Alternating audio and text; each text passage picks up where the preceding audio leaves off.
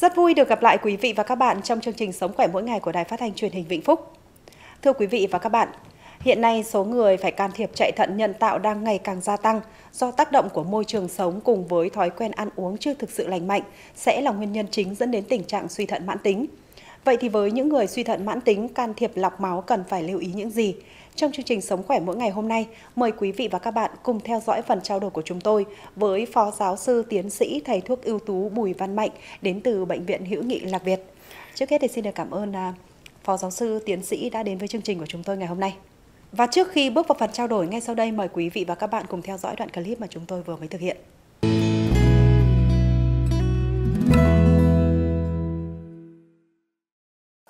Ở những người mắc bệnh suy thận mãn tính giai đoạn cuối, việc lọc máu và thải độc phải dựa vào máy chạy thận.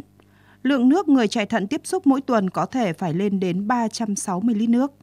Nếu không được lọc sạch, không đảm bảo hoặc nhiễm tạp chất thì rất nhiều chất ô nhiễm sẽ tiếp xúc trực tiếp với máu, gây hậu quả nghiêm trọng tức thì, sốc dẫn đến tử vong hoặc có thể gây hậu quả lâu dài, dễ tổn thương đến các cơ quan đích. Ờ, sang đây thì được các, bác sĩ nhân viên bên này thì tư vấn là các cái chế độ về bảo hiểm thì vẫn uh, cung cấp bình thường còn sẽ được thêm các cái uh,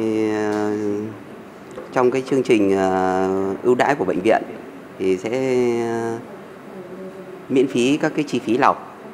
ban đầu uh, các cái dây máu thì được thay và cũng được miễn phí suốt trong quá trình lọc đầu tiên này. Tại bệnh viện Hữu nghị Lạc Việt, Ngoài việc trang bị hệ thống máy chất lượng cao, bệnh viện hiện nay còn đầu tư đồng bộ hệ thống máy lọc nước RO siêu tinh khiết. Đây là hệ thống đạt tiêu chuẩn quốc tế. Việc đầu tư hệ thống máy hiện đại đã góp phần giải quyết tình trạng quá tải cho bệnh nhân cần lọc máu hiện nay, giúp người bệnh không phải đi xa, không phải chờ đợi lâu và đảm bảo an toàn về sức khỏe. Xin được quay trở lại với phần trao đổi tại trường quay. Trước hết thì à, xin được cảm ơn Phó Giáo sư à, Tiến sĩ à, Thầy thuốc ưu tú Bùi Văn Mạnh đã đến với chương trình của chúng tôi ngày hôm nay. À, thưa ông, chủ đề của ngày hôm nay của chúng ta đang nói về chạy thận nhân tạo và những điều cần lưu ý. Vậy thì à, Phó Giáo sư Tiến sĩ Thầy thuốc ưu tú có thể cho quý vị khán giả được biết rằng là những người như thế nào thì cần phải can thiệp chạy thận nhân tạo ạ? Thì bao gồm những trường hợp thứ nhất là có biểu hiện hội chứng tăng ure huyết mãn tính à, cấp tính nặng mà nếu không điều trị thì bệnh nhân có thể tử vong. Thứ hai là tình trạng thừa dịch của cơ thể có thể gây suy tim và các cái biến chứng khác mà bệnh nhân cần phải chạy cấp cứu để rút nước bớt ra.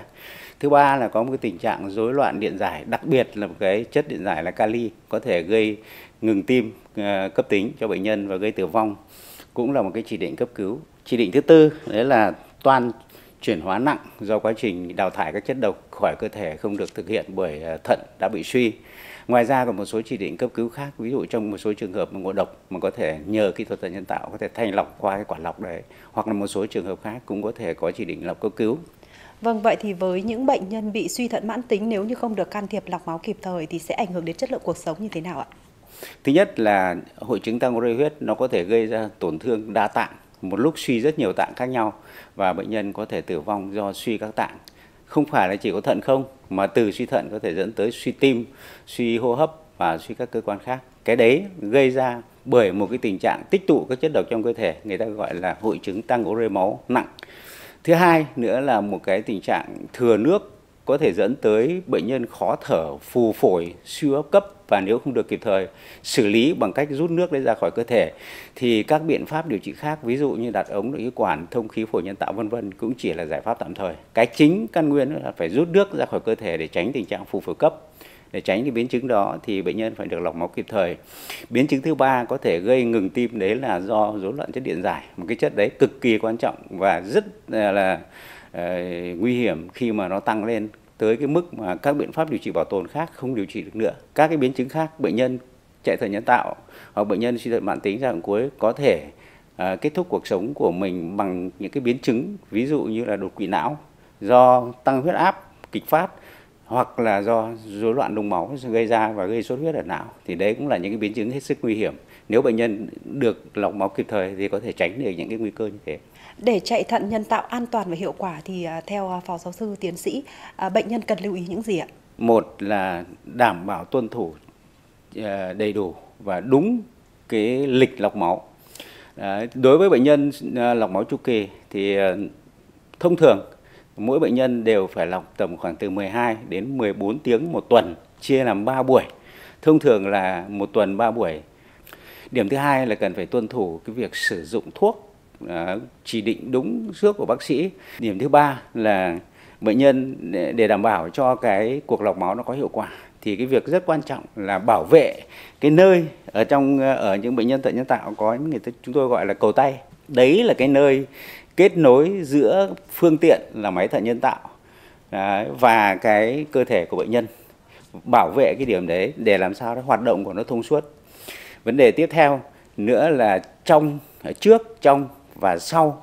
cuộc lọc máu thì bệnh nhân luôn luôn phải tuân thủ tất cả các chỉ định của bác sĩ từ việc ăn uống lúc nào được ăn ăn cái gì và bất động như thế nào vùng nào là được vận động vùng nào không được vận động vân vân. Với những bệnh nhân cần phải can thiệp chạy thận nhân tạo thì à, phó giáo sư tiến sĩ có những lời khuyên như thế nào để bệnh nhân có chế độ ăn uống ngủ nghỉ hợp lý ạ? Thứ nhất là luôn luôn phải tuân thủ đúng cái thuốc men chỉ định sử dụng của bác sĩ. Đúng liều đúng thời gian đúng quy định và không được sử dụng quá liều cũng như là không được sử dụng cái gì mà ngoài cái chỉ định của bác sĩ. Cái đó rất quan trọng giống như là phần hiệu quả lọc máu tôi đã đề cập đến. Điểm thứ hai nữa là phải tuân thủ cái lịch lọc máu. Không được ờ, lên đi lọc sớm quá hoặc là muộn quá. À, điểm thứ ba là cái chế độ ăn uống. Thì ở đây gồm có uống uống nước vào thế thì nước vào thì ờ, theo quy định thì ờ, một lần lọc máu người ta sẽ siêu lọc tức là rút bỏ cái lượng nước ra khỏi cơ thể của bệnh nhân ấy,